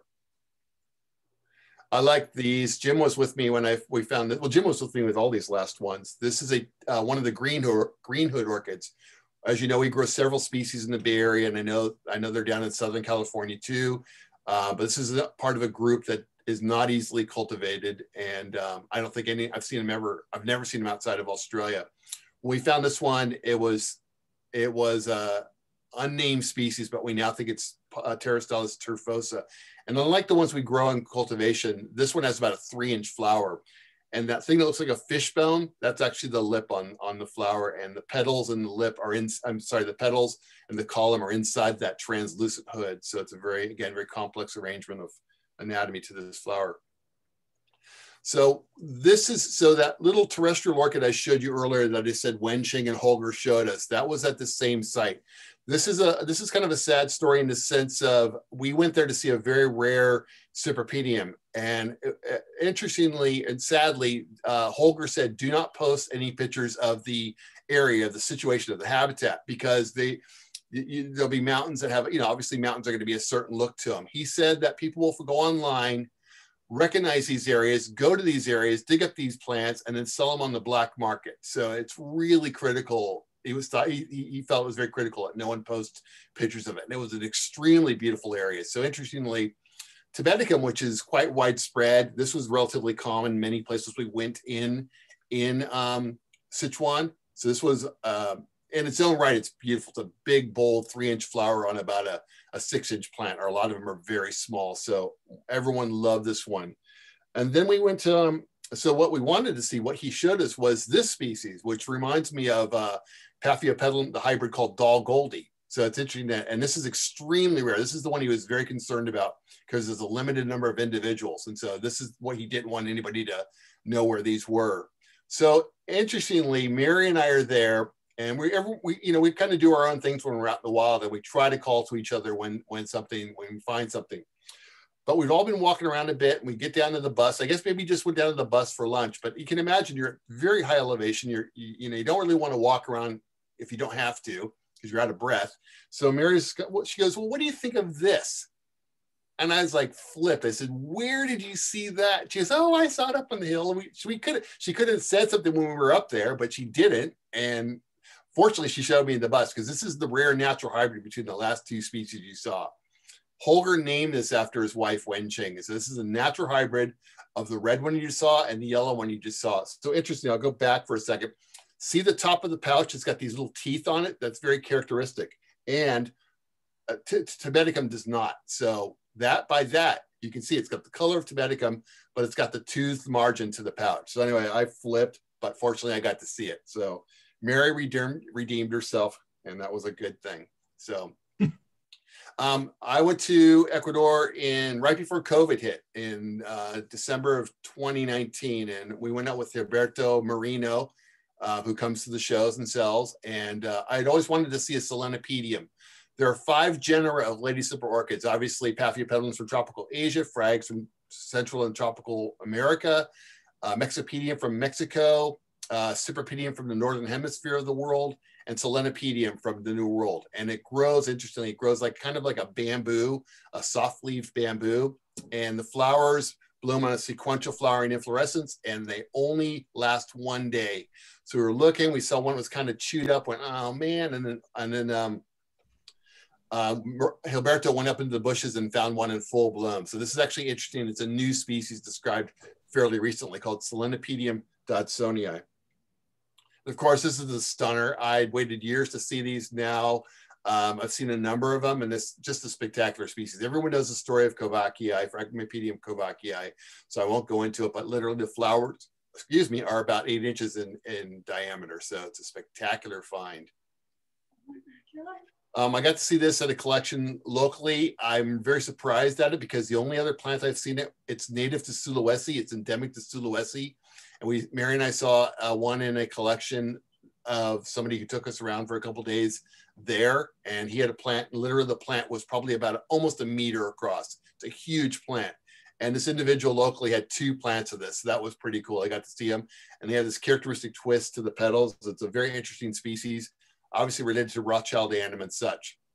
This is another one. The same individual had this plant. This actually should not be in the United States. It's probably an illegal um, uh, importation. Rungsuriyanum was found a number of years ago, but fairly recently. It's only from Laos, the country of Laos. People say Laos, but I believe it's pronounced Lao. And it's a wonderful thing. The flower is only about two and a half inches tall. You can see the plant. It's plant. The flower is as big as the plant. It actually the plant does get bigger, but it was a real treasure to get a real find to be able to get to see and photograph this plant because I don't think we're ever going to see it. I think it's probably going to be extinct in the wild before it becomes on the market. I've not seen anyone offer it. I've only seen this one plant, and I don't believe this plant is even alive anymore. Um, so, so now we're into the uh, monopodials. Um, so that means things like angraecoids and vandaceous orchids, where they grow from a central point. So this is something that um, It used to be called Teretifolium. There is a species called Teretifolium. It's this one is correctly linearifolium. It's a beautiful thing. This is Kay Clum's plant. I think it's a very striking feature. As you know, this long nectary, this spur on the flowers is uh, each species of angraecoids, whether it includes Aerangis, uh, Angraecum, Jumellea, and any of the numerous other genera are pollinated by night-flying moths, as we all know the story about the Angraecum sesquipedale and the, and the moth that was found after Darwin died. Anyway, wonderful group of orchids, night fragrant usually, um, but everyone loves them. Some are difficult to keep alive. Um, this one's not the easiest one. This is one that belonged to Cindy Hill. Um, she sold it when her collection got sold. This is a plant that she bought as Angraecum urschianum, which is a beautiful little plant and actually same size, very similar plant form, except that plant urschianum has these silver mar silvery markings on the plant, which this one did not. It lacked this, and she bought it as a Angraecum brevi, which it is not. But a wonderful little thing. That plant's probably two, two and a half inches across. You can see how large those flowers are proportioned to the plant.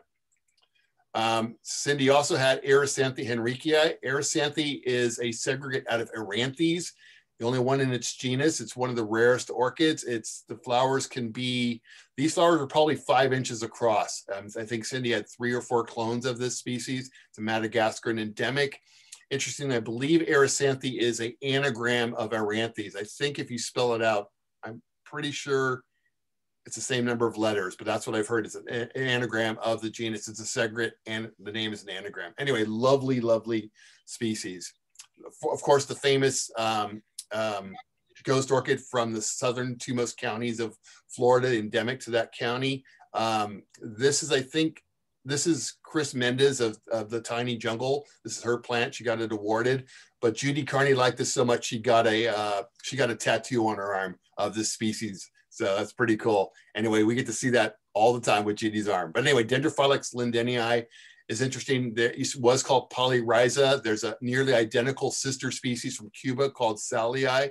Just as beautiful. Just I don't even know what segregates them actually, but a wonderful group of orchids. And these are New World angraecoids. So angraecoids are not just tropical Africa and Madagascar. There are a few genera in the New World. Campylocentrum, Dendrophylax, um, maybe just two.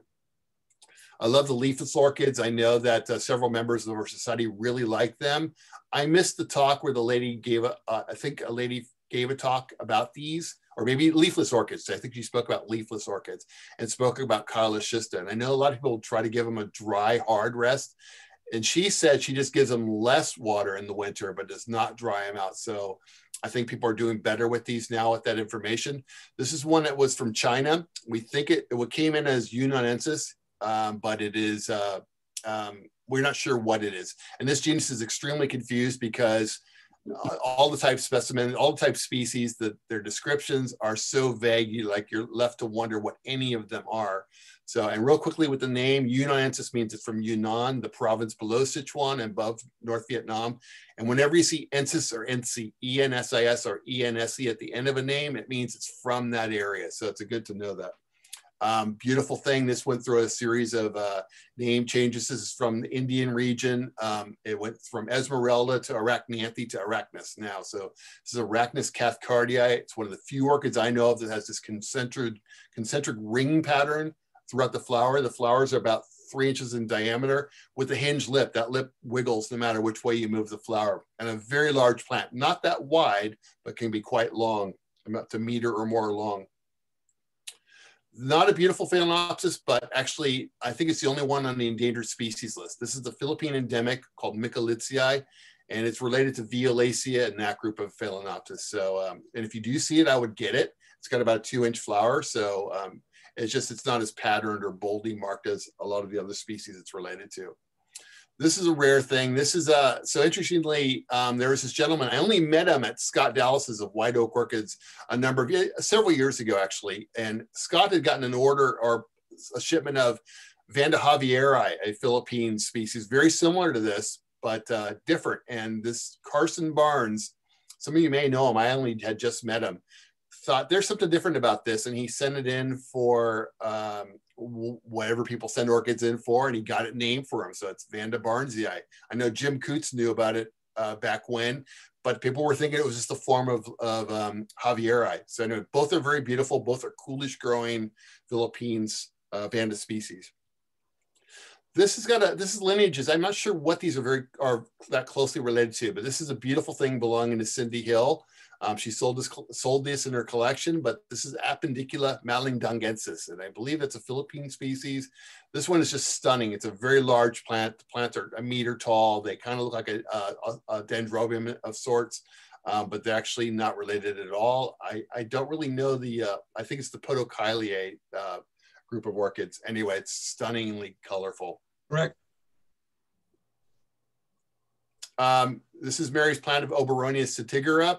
Setigera means bristle bearing, and as you can see, the bract above each flower is this long, narrow thing that sticks out. It's a beautiful thing. The genus is completely, uh, um, uh, it's very complex. It's very hard to identify plants. They're highly confused. Um, but I know Daniel Geiger uh, is written a, is very interested in this genus, and um, I can see why. There's you need a, he, he actually has done electron microscope photos of them to, se to separate them out and identify them. This is Mary's plant of the flowers. And Each one of those little dots on it is the column, the column cap. So pollen cap. So you can see how small those individual flowers are growing in whorls. And then this is the plant uh, that that was taken from. So a beautiful thing. Um, Catasetums, they're one of the, it's a New World genus. They're from tropical um, uh, Central and South America, there's a huge number from Brazil that have been found that are just stunning. This is one of those uh, genera of orchids of closely knit allied species that have male and female flowers. The plants are not male or female, the flowers are. And some plants can have male and female spikes on the same plant at the same time. And there's occasionally, um, there's hermaphroditic flowers of both sexes. But these, the male flowers are typically very beautiful. The females are um, very similar in that they have this hood to them. A lot of them look very similar and almost unidentifiable, but the male flowers easily differentiate the species. This is a fairly new species, relatively new species from Brazil called denticulatum. Mormodes is another one. It's not, they're not sexually, they're not uh, male and female flowers. They're, they're um, but they have uh, they're in the same alliance. They're in the Catasetinae, and this is they're commonly called. We don't call them that, but a long time ago they were in books as the goblin orchids. But one interesting thing about this is that they're asymmetrical. That you can see that the petals and sepals and the lip and the column all kind of twist to one side. So that's pretty. That's one of the few unique genera in the in the orchid family that have um, have asymmetrical flowers. There's some new world. I'm sorry, old world genera that uh, also are asymmetric. For a long time, this was thought to be, Galeandras were thought to be part of the same alliance as Cymbidiums, but they've been determined to be part of the Catasetinae. This is an unidentified species. I love the cat. I love the Galeandras. I used to try and, and have as many as I could when I grew warm under lights, um, but I, I, don't have that anymore. But regardless, this is an unidentified species belonging to Marnie Turkel. And uh, I think she struggled to keep them alive. I think some of them are quite difficult, but you can see they're beautiful. Almost the entire flower is the lip, the labellum. Uh, Cymbidium, Cymbidium's um, not a beautiful one. It's in the subgenus Jensoa. Interesting though, this has no leaves and no chlorophyll. It comes out of the ground like those saprophytic terrestrials I showed you. Actually, it's terrestrial, but it's a Cymbidium. And there's this species in Defoliatum, and there may be one or two others, Macrorhizon, I think, that they just have no chlorophyll. They just, the inflorescences come out of the ground. So Holger Perner had this at his collection in his greenhouse or in his last house in Sichuan. I've seen it. I've seen it here in the states. I had one for a short period of time. I think a lot of people did through Buddy Fund Mark, but unfortunately, no one was able to keep them alive long term. Beautiful thing, the Laeliinae. Epidendrum is the largest genus of the Laeliinae. There's 1,500 plus species found from Florida all the way through Central America, the, the Caribbean, South America. Um, it's a highly confused taxonomic group but they're wonderful. Um, they, as I, I, should have said, the this group, the Layla and I, all have terminal inflorescences except for very few, for every, very few uh, ex, um, exceptions, like the um, the little red guy we saw earlier. anyway, Epidendrum ilense was discovered in Ecuador, and they went back to go find more after it was discovered, after it was described and the whole area had been deforested. Evidently, it's been found in a little few other individuals, but probably not enough to keep the species alive in the wild. What is pretty cool about it is if you can get this plant, it blooms again and again and again. As you can see, the inflorescence starts branching. So you have many separate little inflorescences there. As you look at the top, it's a branched inflorescence. Epidendrum. Each of those flowers is about two inches long with a beautiful white parachute of a lip, fringed parachute. Beautiful thing, not that rare, but really beautiful, very amazing. Epidendrum medusae is a favorite of many people. A lot of people struggle to keep this alive. It wants cool conditions and not that cool. Probably would do best down to about 50 or so. Uh, likes high quality water as an attractive gray green plant. Um, flowers can be three inches in length, so it really is a stunning plant. Really beautiful all, all overall. Nothing rare, but incredibly beautiful. And again, it's the fringes I love. It's Rhyncholaelia digbyana. This is the species that has imparted its fringed lips to many of the Cattleya hybrids we see. So these SLCs, uh, BCs, BC being Bras, Brasso Cattleyas, but I now think uh, they've changed. Uh, Lynne can correct me, but I think uh, Rhyncholaelia, I think somehow that's um, imparted into the hybrid, the, the, the new the new generic names when it evolves these these species. Anyway, four inch flowers, five inch flowers, incredible citrus smell, fragrant. And I mean, look at that. If we didn't see this all the time, you would think that was pretty amazing. And it is. You have to just, it's one of those things where familiarity breeds contempt. So don't let it. Oh. Uh, Steve Beckendorf was instrumental in, in, rediscovering this species in the Santa Marta region of Venezuela. It's got four inch flowers. It's a beautiful thing. It was lost for many, many, many years. That part of Colombia, the Santa, Santa Marta area, that's the highest coastal mountains in the world. They go from the coast straight up and it's a, it's a cloud forest species. And actually I have a piece of, uh, of this original plant, not the original plant, but one of the newer uh, plants that came out of this species. So I feel pretty lucky to have that. So Oncidium or Odontoglossum niveum. I'm not getting in the middle of that one. So you got Odontoglossum growers and they'll kill you if you say they're Oncidium. So Tolumnia, we saw that one that I think Jeff had. That was a Roger, Rodra, Rod, Rodrumnia. Rod, anyway, it's a hybrid between Rodriguezia and Tolumnia. This Tolumnia is interesting because it's the largest species that occurs on Hispaniola, the island of Dominican Republic and Haiti. It occurs at elevations. It likes cool conditions and collections. It's quite a rare species. Um, the plants, evidently in the wild, their leaves can get a foot long. So that it's quite a large Tolumnia. Anyway, it's a beautiful thing. If you can get it, treasure it. I love Telipogons. For years, they were in a section called the Tilapogoni. Um, now they've been determined to be part of the Oncidium. So they're in the Oncidianae. There's about 110 or more species. Excuse me. They put the they submerged the genus Stellilabium, which is little tiny flowers, into this genus. So the genus has been enlarged. I think actually there's more like 160 species now. Um, Ernie Cattler, who's here tonight or was, um, he had this species. This is not his plant, but uh, he used to grow this species. I love him for the lines, the checkers, the the everything about him is just wonderful. But interestingly, the flower in the center looks like a, a tachinid wasp, a tachinid fly. I'm sorry, and the and the male flies try to there's two theories. One, they, th- they see a female, they try to mate with it, but I've also heard the theory that the male fly sees another uh, a combatant, a, a, a, a, opponent, and tries to fight with it. Either way, the flower becomes affects the pollination. So it's pretty amazing. Dendrobium is a large genus, again, one of the largest in the world, about 1,800 species. This is Cindy Hill's plant of Dendrobium aurantiflammeum. Flowers about three inches long. It's from Borneo. It's highly expensive if you if you can find it for sale. They're hard to establish, but of course, Cindy does an amazing job with their plants. And this is one that you just don't see very often. It's a wonderful thing. Um, it grows in this soft, kind of like a kind of a thin, slender bamboo-like plant, bambooish-like plant. You know, it's a lovely thing. The inflorescences are very lax. As you can see, the flowers are non-resupinate. Um, it's just, it's wonderful. Glows orange. It's a beautiful, beautiful thing. Um, this is a plant that I wanted for years to see. This is Dendrobium brymerianum. And as you can see, the fringes got fringes, and that's why I love it. And I, I waited for years to see it. And then Cindy Hill brought one to the San Francisco meeting one time. And not only was it like a plant, it was a specimen. And each of the flowers were much larger than I even knew they would be. I thought they'd be like one inch flowers. It was about two and a half inch flowers, just incredibly beautiful.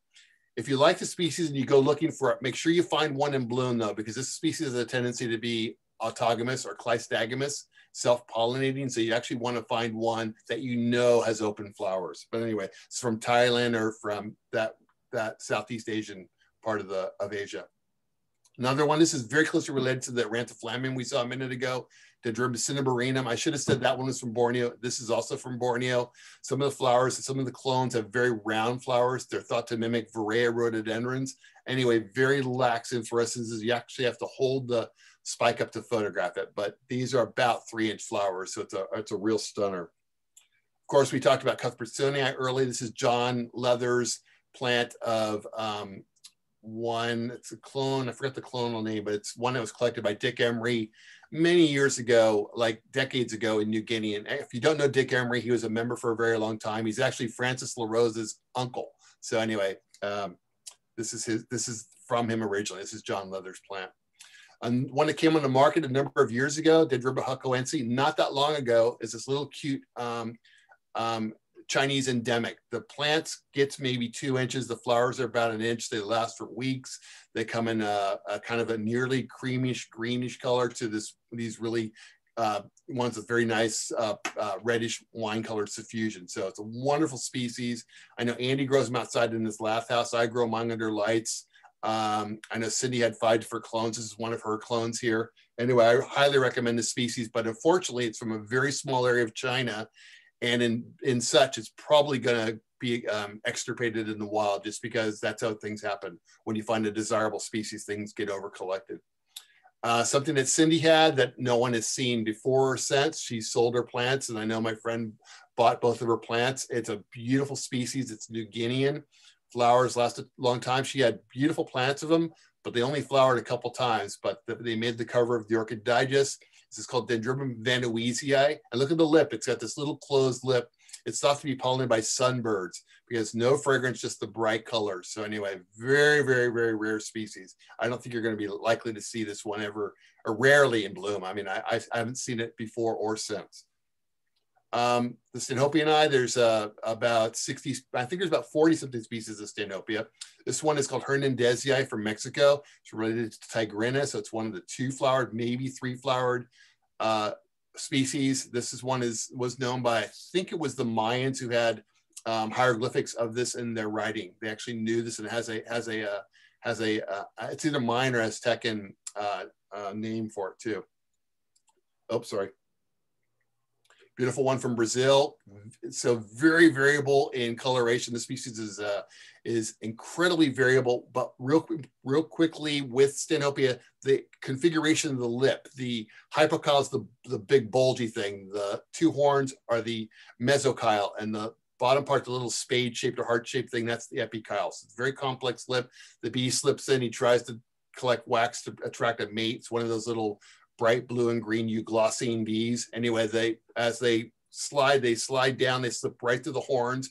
And in doing so, that you can see the, um, uh, I forgot what the trigger is, the moment for the pollen, but the bee goes right by it and capture and the gets the pollen right on its back, does the same thing again and affects pollination. So these flowers, as long as big and waxy as they look, they only last about two or three days typically in flower beautiful thing. I love this fringes. This is a Sievekingia, one of about 16 species.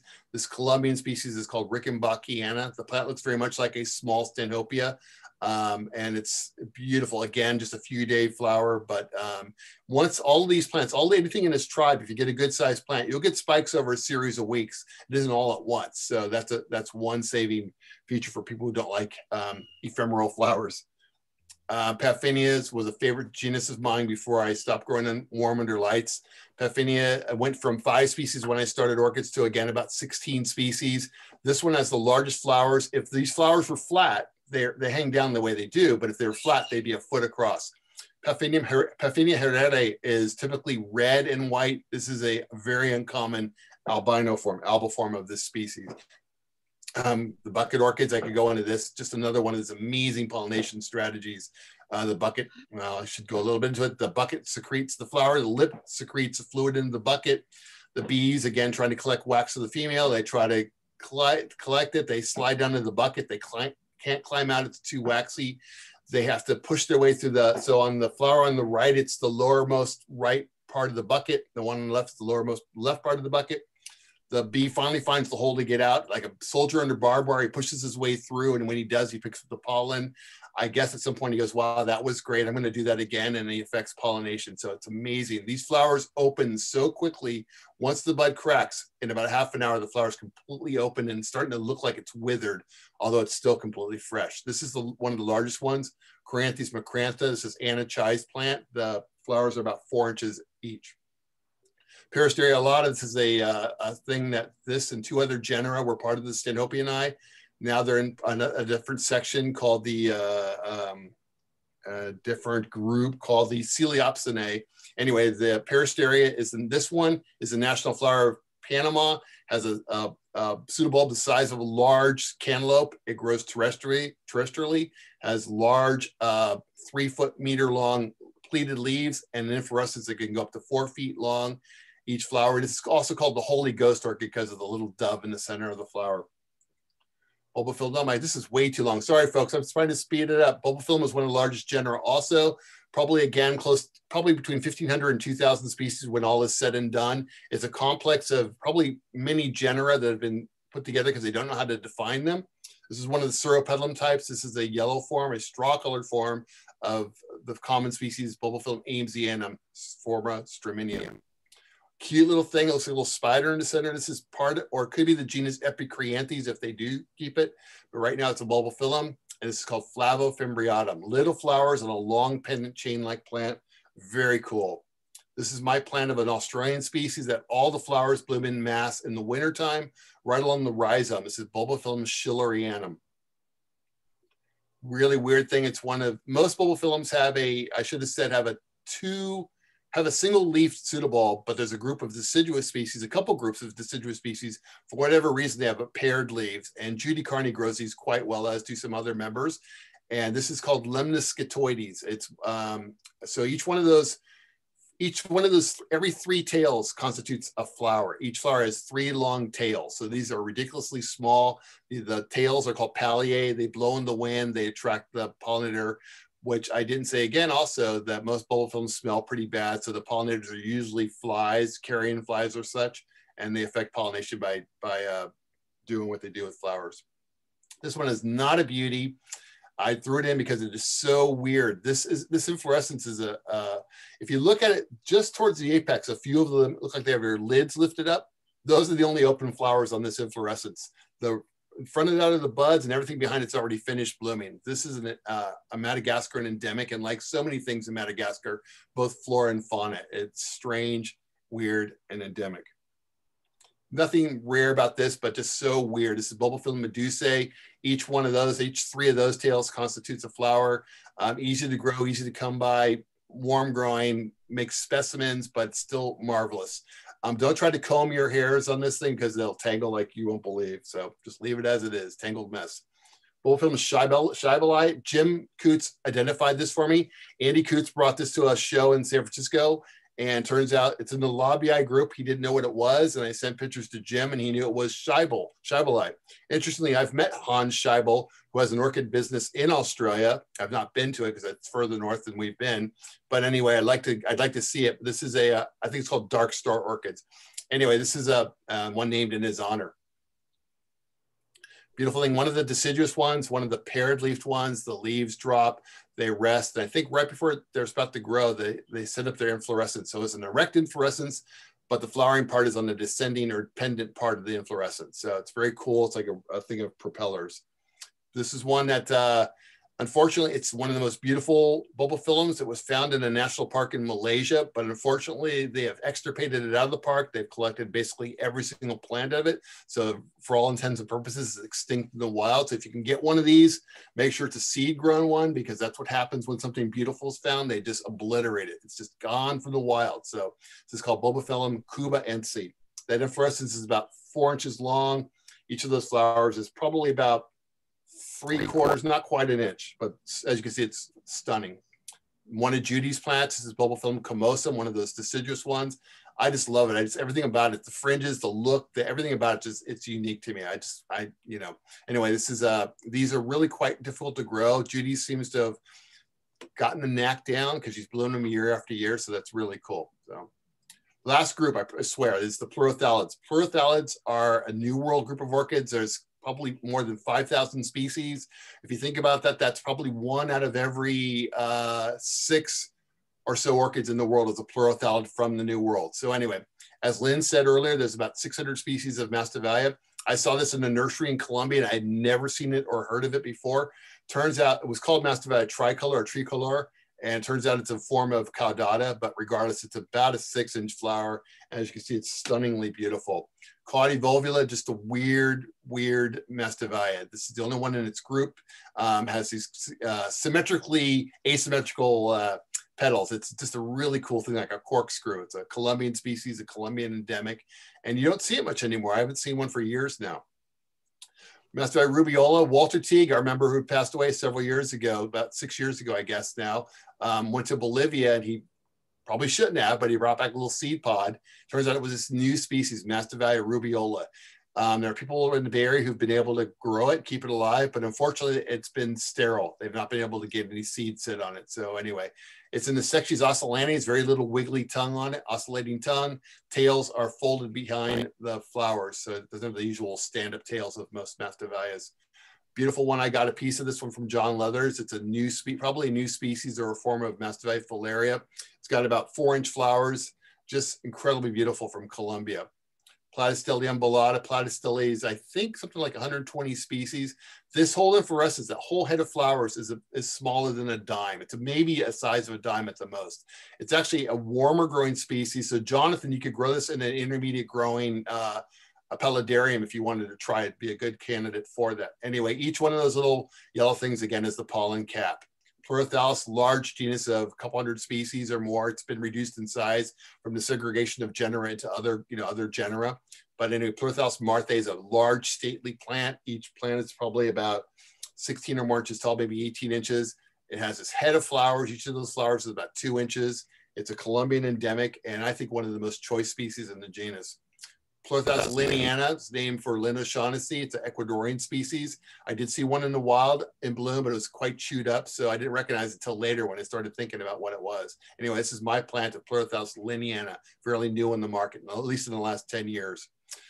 People just scoff at Stelis, and maybe I just like this photo, but there's about a thousand species of Stelis. And when you say what's a Stelis? Everyone goes, I don't know, just a Stelis. So that's what everyone thinks is Stelis. Well, I guess I just like the picture, but it's a Stelis butcheri from Panama. It's named for Harry Butcher, a friend of Lil Severance. For those of you who remember Lil, he was our guide when I went to Panama Costa Rica in 1982 and 83. He was he was old then and he, he didn't last much longer, but what a guy. Uh, something that some segregates. This was a Pleurothallis is Stelis superpedioides. I won't go into it, but this is probably the true one with the purple hairs on long pendant spikes. Sequential flower, which is few spread out flowers. Um, very cool little plant though. Lepanthes, wonderful genus of about a thousand species also. Um, this one is uh, what Jonathan, I think, showed this in his paludarium talk. Um, this is one that actually, it's not a cool grower. You want to grow it intermediate at least. Can even grow warm. I found one in Colombia that's quite warm where it was. Uh, so anyway, but what's so beautiful about it is the foliage and the flowers. Is everything going for it. It's a beautiful, beautiful plant. Um, Lepanthes caprimulgus. Turns out that this is probably going to be a new species. Caprimulgus, the only one we know of that's truly caprimulgus is the clone Gorgeous Goobers. This one is an, uh, it was a new collection about 10 years ago out of Peru. Turns out it's not quite the same, but anyway, I'll have to change that when they get the name for the new one, but it's quite a rare uh, species, brand new species. Beautiful one, a coleotta means spiny. It's not sharp. Those are soft spines on the back of the leaves, but pretty cool looking. I love Lepanthes for the colors, the shape, the, they're just amazing to me. Yes, they're small, but you know, so is that jewel on the ring on your finger. Lepanthes felix is a beautiful thing. This is a one. I always wonder why it's called the cat. Well, somebody said, well, look at the flower upside down. Ah, I can kind of see it now. So it's a very variable species. I actually got to see one in the wild at Tatama National Park in Colombia. Saw a few of them. Anyway, great thing. Those green things in the center of the hood, those are the petals. And that tiny little bit is the is the lip. That little thing in the lip in the columns, that tiny little thing in the center there. Lepanthes felix. Last genus, Dracula chestertonii, is just remarkable. Draculas, there's about 120 species, I think, roughly. Um, there are typically uh, pendant flowers, pendant inflorescences. There are a few erect flowers, but the flower erect inflorescences, but the flowers tend to hang down. They have this mushroom-like lip because they and they smell. They give off a fungus-like smell, a fungoid smell. because they're pollinated by fungus gnats. So um, anyway, Chestertonia has one of the largest lips uh, in proportions of the flower. This is a Colombian endemic, about a three inch flower. Fairly new species, not that long known, is Dracula saulii from Peru. It's named after Saul, who works for Peru Flora. And uh, this is named in his honor. Beautiful little thing. Um, yeah, just I like the picture. Dracula robledorum, it's got about a five inch flower, one of the most stunning of the Draculas, fairly flat flower. Um, and another thing, most of the species have a hinged lip, but there are a few that don't have a hinged lip. They have a, a, a, a, non-motile lip, like Dracula chimera has a non-hinged lip. So it's one of the ways you tell some of these similar species apart. Anyway, Dracula lafleuri has very rare, hardly anyone has it. It's got about nine inch flowers, stunningly beautiful. Um, Dracula collectors love to get this one. Um, when they're serious, they usually can find a division of it. But anyway, you don't commonly see this one at all. And Dracula vampira, this uh, John Leathers was able to get a 14 inch flower on his plant of Dracula vampira. Bela Lugosi, as you can tell, someone got smart with that name. Anyway, this is a got an FCC from the AOS, a first class certificate from the AOS, one of the most stunning orchids there can be. And lastly, these are my two friends, Dracula Presby, saying thanks for putting up with that because I know I went on. I tried to talk fast, but anyway, thank you very much. Any questions? I know probably ran out of time. Yeah, you did great. Don't worry about it. yeah, but Oh, bravo. 60 people strong hanging in there, right? So Yeah. very interesting. right? Very interesting. Any Good one, Beautiful. Thank you. Does anybody have any questions? Because I'm going to bail pretty soon. but I'm here for questions. Anything you want to ask is good.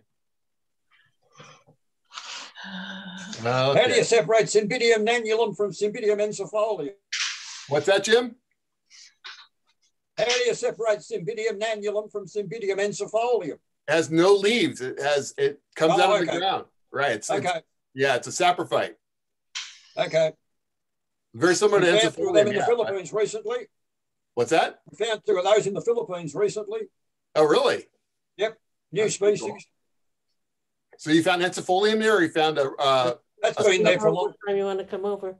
No, we found some of the ones without leaves. Oh, excellent! Wow. and you put your stuff in there. Got to be in your book there, Jim. One looks like macrorhizon, but the other one's different. Huh. That's amazing because macrorhizon's from India. Yeah.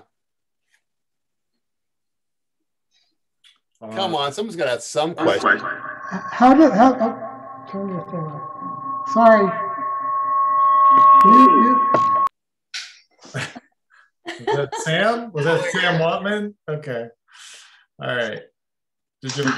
yeah, how, how did the plants grow with, without, uh, what was it? Without chlorophyll? Uh, they, per- they tend to parasitize, uh, they, they, they tend to derive um, from broken down materials. They tend to, or they can even, even, most orchids are actually parasitic in the, in the embryonic stage. They parasitize the fungus. Somehow, I guess some orchids uh, just carry that further and that's their life. That's their life. Uh, I don't know what the right, but they're, they're saprophytes. So like mushrooms and stuff, I guess they are from, they derive that's a good question there, Sam. But I think they derive their nutrients from um, uh, broken down materials in the ground.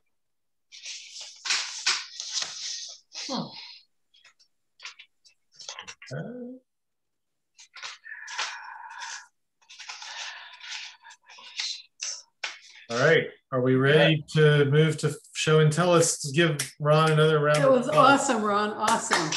Thank you, Lou. Great job. Thank you. All right, guys. Wonderful, Take care. I'll see you next time. Okay. Thank you. Bye. Thank Thank you. you. Thank you.